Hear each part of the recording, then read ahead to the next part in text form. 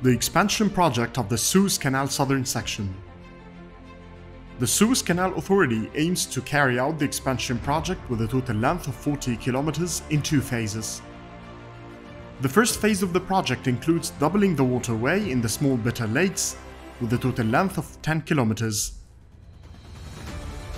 The main objective of doubling the waterway in this area is to increase the navigation safety standards in addition to increasing the accommodation capacity in this section of the Suez Canal by six additional vessels. The dredging works in this part of the project are initially estimated at about 45 million cubic meters. The Suez Canal Authority aims to accomplish the waterway doubling by digging a parallel navigational lane to the west of the existing lane.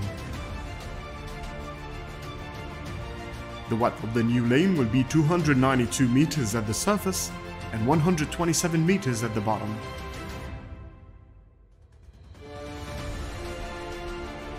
The second phase of the project includes widening and deepening the canal with a total length of 30 kilometers. Through widening the canal 40 meters to the east and increasing the draft up to 27 meters. By concluding this part of the project, the width of the canal at this area will be 332 meters at the surface, while the width at the bottom will be 167 meters. Increasing the area of the water section in the southern part of the Suez Canal will reduce the speed of the sea currents by up to 20%.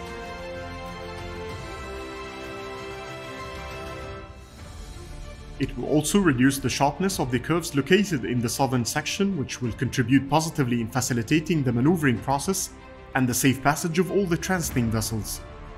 We have performed the maneuvering simulation in the southern section of the canal before and after the completion of the expansion project.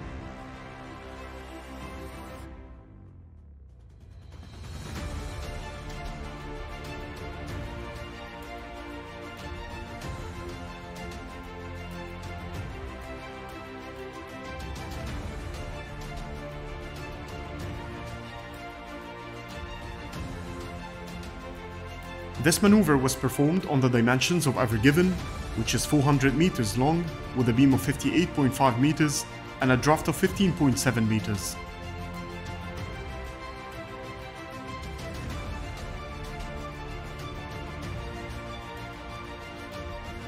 By calculating the blockage ratio after implementing the expansion project, the ratio will increase from 5.2 to 6.7.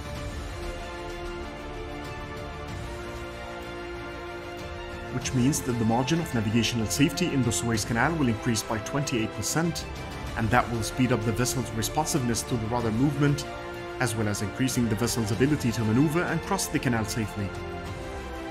The project works are divided into dry excavation of about 3 million cubic meters and dredging works of about 42 million cubic meters.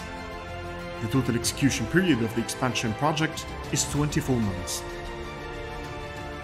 The Suez Canal Authority will carry out the expansion project with its own fleet of dredges, in addition to the participation of one of its affiliated companies named Al Tahaddi.